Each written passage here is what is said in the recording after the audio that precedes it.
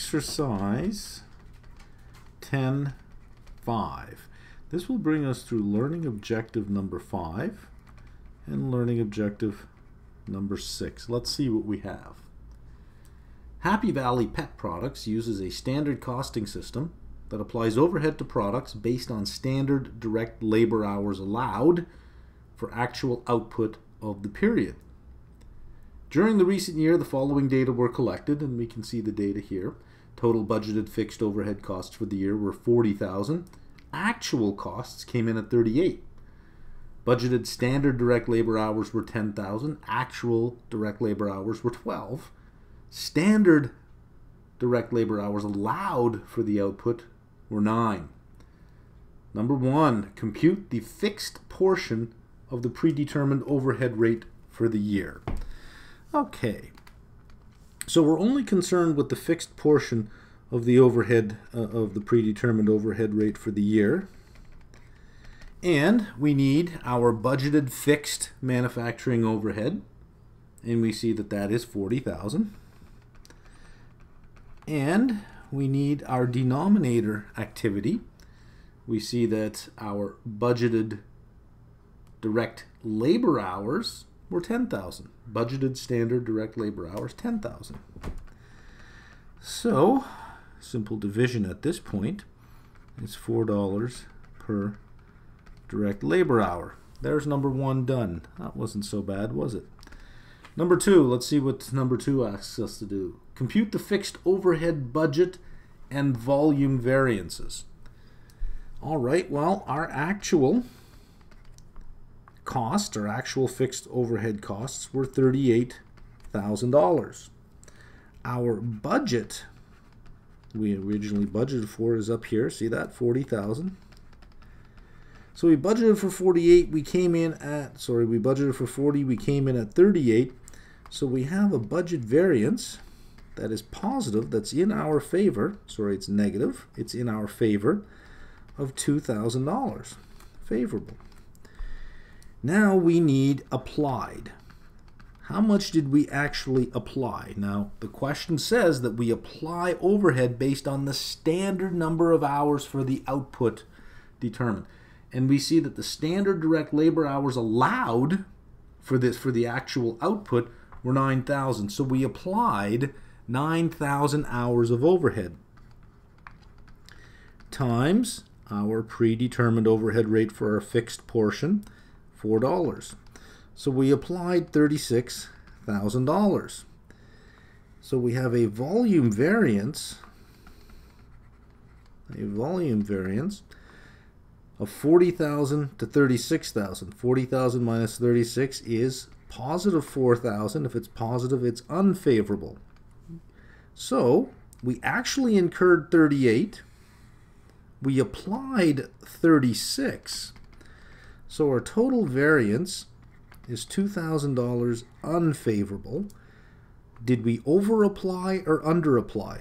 If we actually incurred 38 and we applied 36, we under applied by $2,000. So we have to charge another $2,000 uh, to our uh, work in process or our inventory accounts. There's 10.5.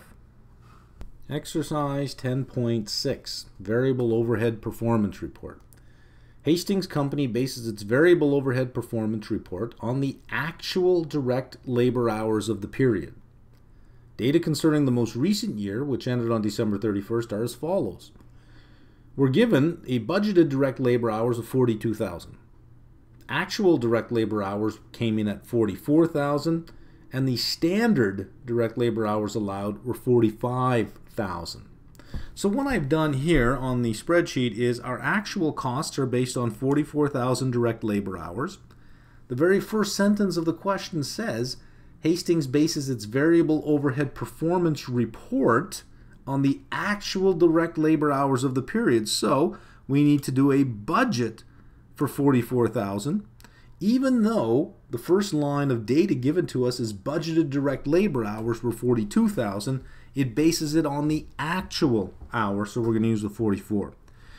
Then what we want to do is a budget based on the standard costs.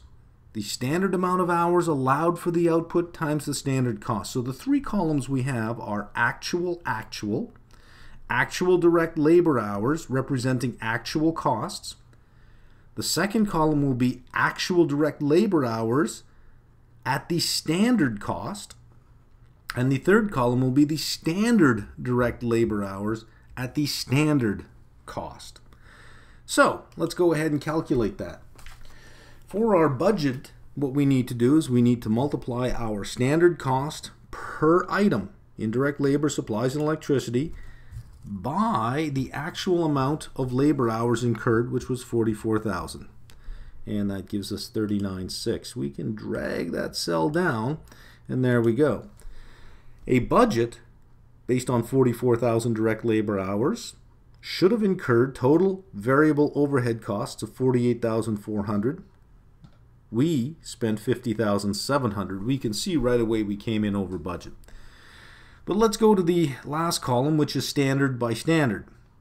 This here is saying that we should have incurred 45,000 hours times the standard rate. So it'll be our standard rate multiplied by 45,000 hours and we will drag this cell down. Our total flexible budget, the total, is actual actual minus standard standard. Again, let me repeat. This is actual direct labor hours at actual cost. This is standard direct labor hours at standard cost. So the total is the difference between actual actual and standard standard. So it is simply 42,000 minus 40,000 and we do the same thing all the way down. Now, we're in a position to determine whether it's favorable or unfavorable. Remember, if it's positive, it is unfavorable. That is positive as well, so that's unfavorable. Here we have a negative sign making it favorable, and we're ending with 1200 unfavorable. Let's break that down.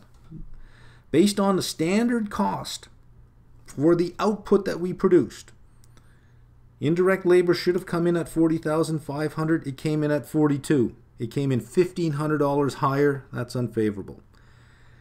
Same argument applies for supplies, but for electricity, we see that the standard should have been 2250 but it came in at 1800 so we were favorable there now we can break it down into a spending variance and an efficiency variance the spending variance compares our actual direct labor hours at the actual cost with the actual direct labor hours at what it should have cost, the standard cost.